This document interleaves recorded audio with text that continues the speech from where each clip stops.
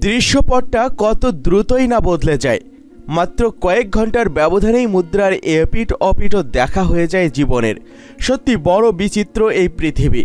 তারপরেও অনিন্দন সুন্দর। দুই দিন বৃষ্টিতে ভেসে যাওয়ার পরও কে ভেবেছিল? ফলাফল দেখবে মিরপুর টেস্ট। তিনশো রানে ইনিংস ঘোষণা করার পর কি বাবর আজম ভেবেছিলেন? বাংলাদেশ পারবে না ফলোয়ানটাও এড়াতে? তবে ম্যাচে জয়ের ব্যাপারে নিশ্চয়ই হয়তো ভেবেছিলেন পাকিস্তান অধিনায়ক। না হলে আম্পায়াররা এক ওভার না পেরোতেই যখন বলেছিলেন পেসাররা করতে পারবেন না বোলিং, সেটা হাসি মুখে কেনই বা মেনে নেবেন বাবর আজম, যেখানে দলে নেই কোনো পার্ট টাইমার স্পিনারও অথচ প্রথম দিন যখন আলোক স্বল্পতা দেখা দিল, তখন মমিনুল হককেও একই শর্ত দিয়েছিলেন আম্পায়াররা। কিন্তু ম্যাচটা চলুক, সেটাই হয়তো চাননি টাইগার ক্যাপ্টেন। না হলে কেন রাজি হলেন না স্পিনার দিয়েই বোলিং করাতে? হয়তো প্রথম থেকেই ভাবনাতে ছিল ম্যাচ ড্র করা। যেটাই হোক, ঘরের মাঠে বাংলাদেশ পারেনি সিরিজ বাঁচাতে টি টোয়েন্টিতেও টেস্টেও দায়টা কার এ নিয়ে প্রশ্ন উঠলেও এড়িয়ে গিয়েছে সংশ্লিষ্ট সকলেই। হয়তো সঠিক উত্তরটা জানা নেই তাদেরও।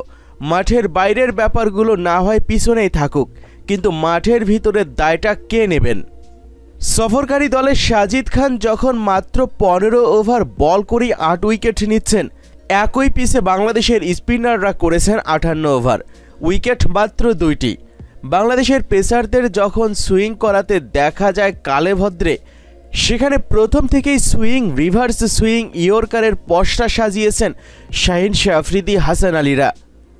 যেই পিসে স্বাচ্ছন্দ্যে ব্যাটিং করেছেন পাকিস্তানি ব্যাটসম্যানরা সেখানে দুই অঙ্কের রান তুলতেই হিমশিম খেয়েছে বাংলাদেশের ব্যাটিং লাইন আপ ফলোয়ানটা পেরোতে পারেনি বাংলাদেশ। দ্বিতীয় ইনিংসে ব্যাট করতে নেমেও হারিয়েছে পঁচিশ রানেই চার উইকেট। সেখান থেকে মুশফিকুর রহিম, লিটন দাসের তিয়াত্তর রানের জুটি আর মুশফিক সাকিব আল হাসানের উনপঞ্চাশ রানের জুটি।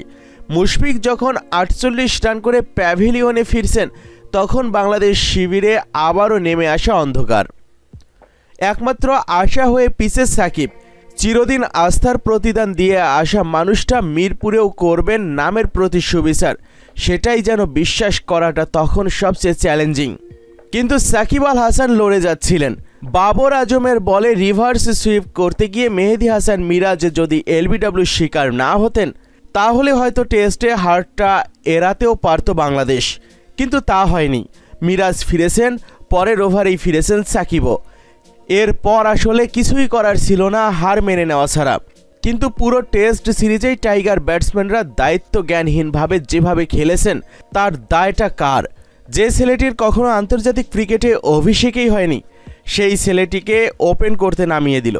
অথচ সেই মাহমুদুল হাসান জয়ের আগে কখনো ঘরোয়া ক্রিকেট তো দূরে থাক, পাড়ার ক্রিকেটেও ওপেন করার অভিজ্ঞতা নেই। তিনি মূলত একজন মিডল অর্ডার ব্যাটসম্যান। তাকে হুট করেই ওপেন করতে নেমে দেওয়া হলো, যার ফলাফল একদম শূন্য।